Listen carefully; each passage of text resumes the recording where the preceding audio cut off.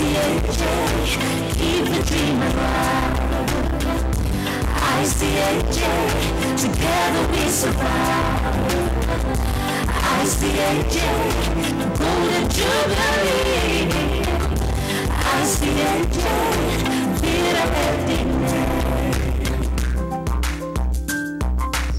When I look around this room, I don't know where to start. There are so many persons in this room who have contributed to the development of Jamaica that I literally do not know where to start, and I'm fearful I may leave someone out. So, Bruce, thank you very much. I noticed your building on our gains, charting our future. It sounds like I'm still at the Ministry of Finance. Building on our gains, charting our future. And it is not by accident that we have made progress. And much of the progress that we have made, we want to thank the ICAJ for partnering with us on many initiatives. I want to thank the ICAJ for partnering with us on the International Public Sector Accounting Standards. The ICAJ has remained strident in emphasizing the importance of transparency and accountability in public sector finances and in facilitating greater monitoring and better allocation of government resources, which were down to better fiscal decision making. The ICJ is working with us on implementation of oversight arrangements for corporate governance. The ICJ is critical in the Audit Commission of Jamaica, of the Public Service. The ICAJ was instrumental in helping the Ministry of Finance chart its way through the accounting nightmares that emanated from the JDX, NDX. The ICAJ, we believe, is a partner with the Ministry of Finance that we cannot do without.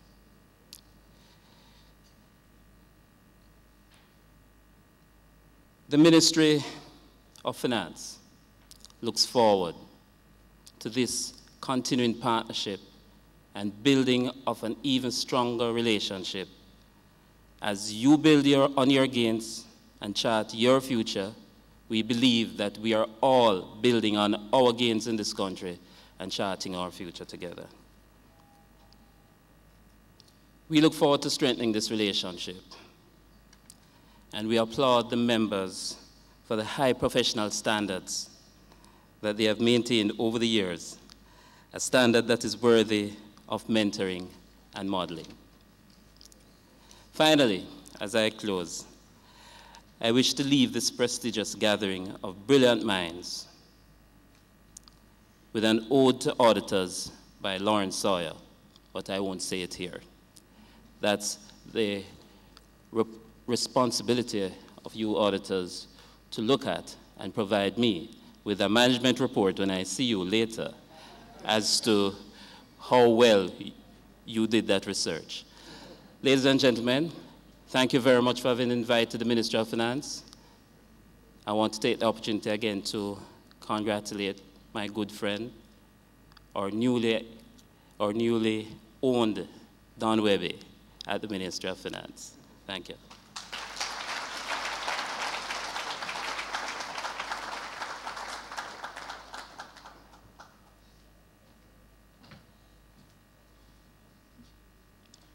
Thank you, Mr. Financial Secretary.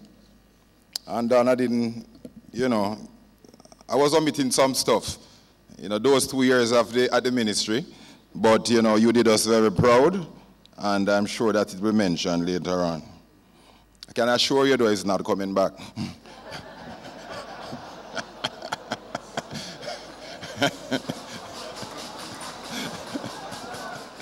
anyway, um, I'm going to be moving on to the recognition and the pinning of our new members. And at this time, I'm going to invite the very beautiful Mrs. Elaine Robinson, our membership chair, to come and lead this part of the program. While she's coming, I'm inviting all our new members who are here to line up to my left, the right of the room facing the stage. So let's welcome this lovely lady, Mrs. Elaine Robinson.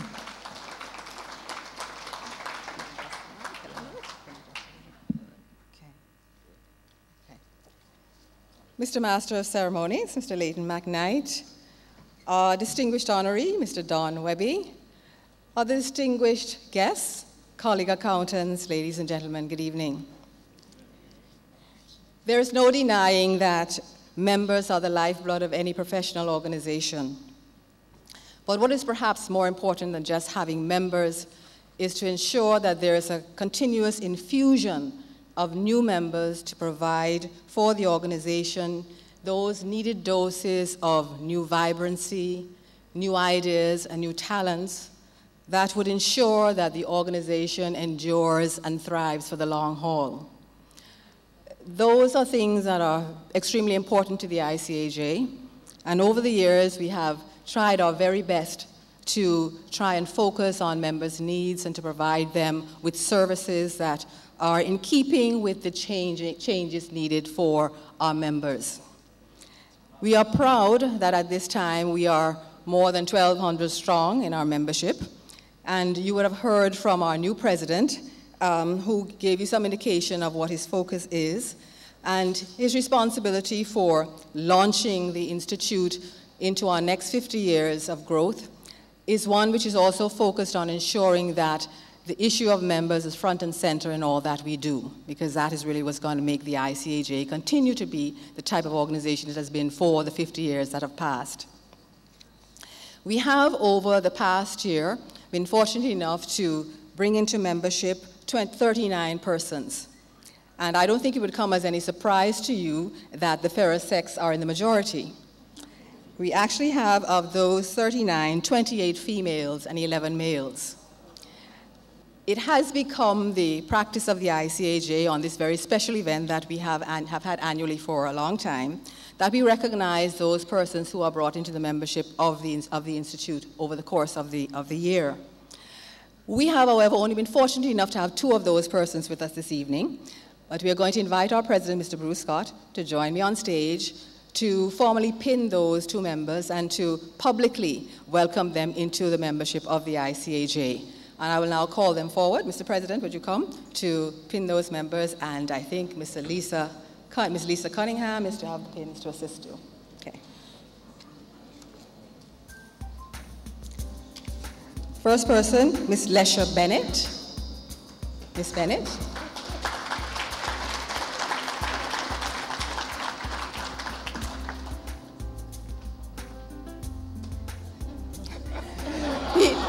He is a little challenged to find where to put the pin.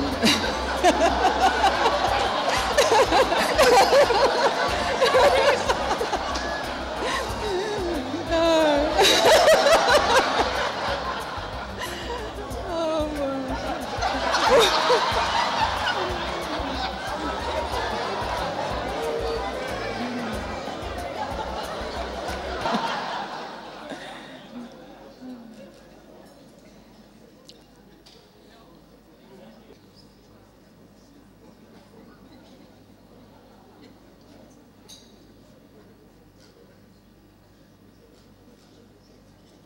Institute of Chartered Accountants of Jamaica, on the occasion of its 50th anniversary, salutes its members in retirement December 2014 to November 2015. It is my privilege to this evening pay tribute to our esteemed members who were transferred to the category of member in retirement during the period December 2014 to November 2015. The Institute of Chartered Accountants of Jamaica values members, the soul of the Institute, and without whom there would be no ICAJ. Each brings his or her own unique flavor to the melting pot of what is, what is the ICAJ, and the result is a world-class profession organization that moves as one.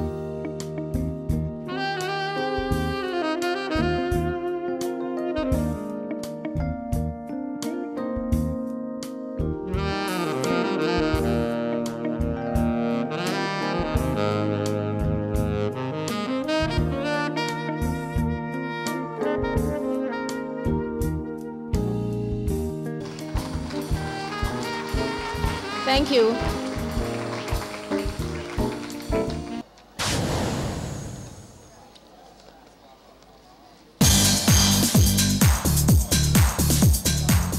Ladies and gentlemen, as we stand on the threshold of the ICAJ's 50th anniversary year, let's pause to recall the words of founding member Dennis Goldson.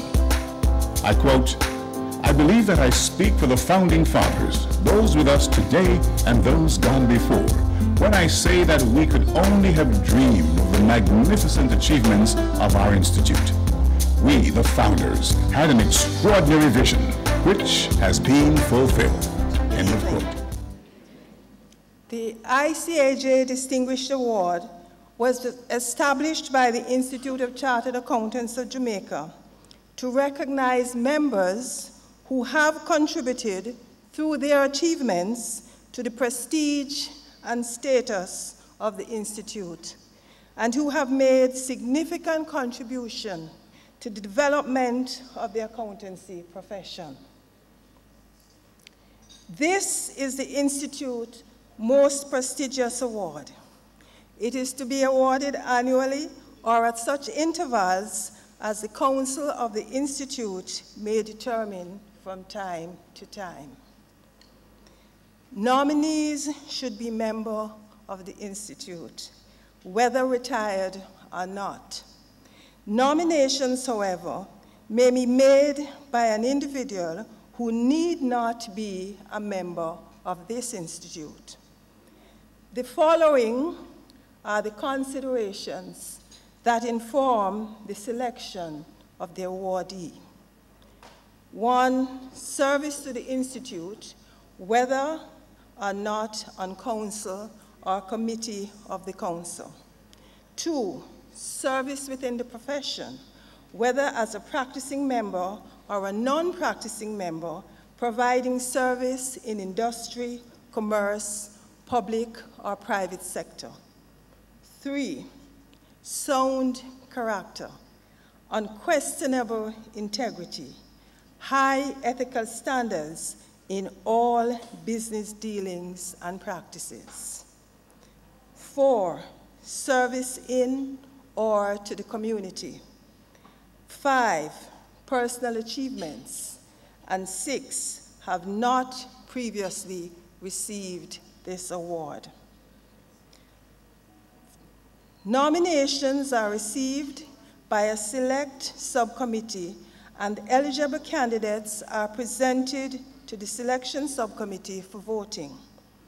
The committee comprises all member of councils, of councils, sorry, current at the sitting, current at the time the selection is to be made. The president or anyone designated by him shall be chairman. Voting is, con is conducted by secret ballot under the chairman's sole supervision. Only one awardee may be selected on each occasion. If there's no majority decision, or should the selection committee determine in any year that there's no suitable candidate for the award, none will be made. There will be no posthumous award except when the successful nominee passes on before the award is announced. Ladies and gentlemen, on behalf of the selection committee, I sincerely thank those persons who took time out to submit nominations. This shows the high esteem in which our members are held.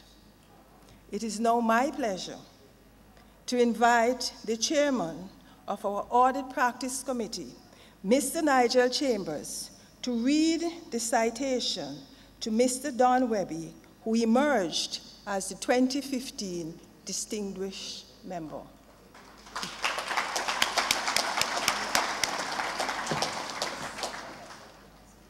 An exemplar of the profession, Don Wehby continues to inspire all by his sterling contribution to the profession, the private sector, government, and the nation.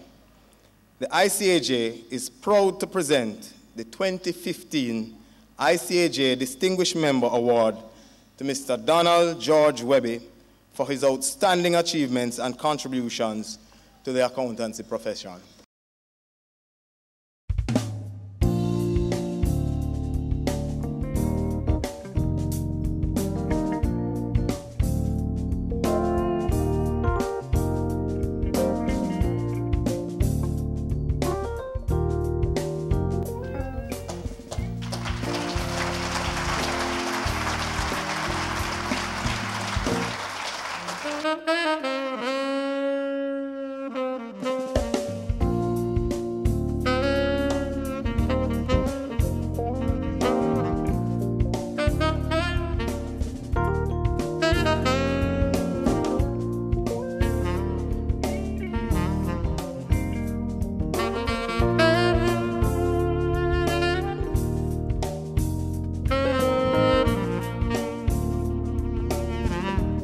And gentlemen, Don Wehby.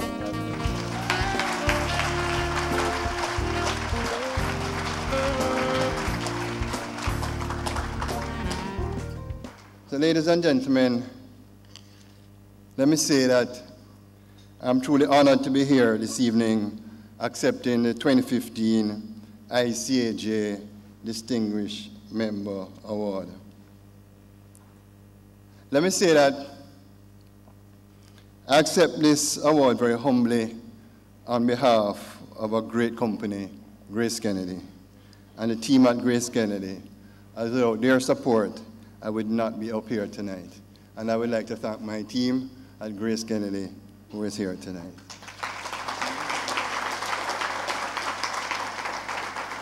And I'm particularly honored to be receiving it on the 50th anniversary of the ICAJ. And once again, Bruce, congratulations. And I think Dennis Chung is here. Congrats, D. Well done. I would say that accounting has become a strategic navigational tool we would really be lost without it in business. I want to again acknowledge and thank the Institute of Chartered Accountants of Jamaica for being that body that insists on the education and licensing of professional accountants and for encouraging and for encouraging and awarding those who have held true to the tenets of accounting. And I'm really happy that I spent the two years in government. Mark, you, you were the jokes of the last, last me and Clovis, but hey, that, that's good. That's good. That, that is good. But you know, as the author Helen Keller says, alone we can do so little, together we can do so much.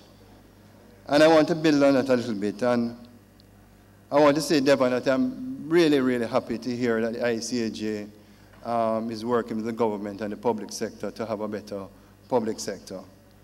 But I also want to say, and I, my friend, the Auditor General is here, Pam, and most of us, or a lot of us, I should say, in the private sector, have a great concern of how government, agent, government agencies and statutory bodies are being run, especially as it relates to corporate governance. And by that, what I mean, and it's in the news now, selection of boards, selection of the Audit and Compensation Committee, internal controls, and timely and accurate reporting. And I thought about the audience tonight, and I thought about Jamaica. And I said to myself, how can we change Jamaica for the better? And I want to suggest, and the math is very simple, ladies and gentlemen. There are about 400 of us, or maybe more, in this room tonight. And according to the ICAJ, Bruce, we probably have about 1,200 members registered across Jamaica. Let us think about that a minute. Can you imagine how good it would be for Jamaica if each of us, if each of us find a way to meaningfully contribute to our nation. If each of us decided to give one hour of free national service to a statutory body or government agency, can you imagine the impact that would have on our nation? The end result would be better management, better control, and better governance. And I want to challenge the ICAJ. I want to challenge the PSOJ. Dennis is here as the CEO and other associations, let us speak a little louder about us playing a role in government and the various boards so we can improve the governance of those boards. Thank you very much again. God bless you all, and God bless Jamaica. Long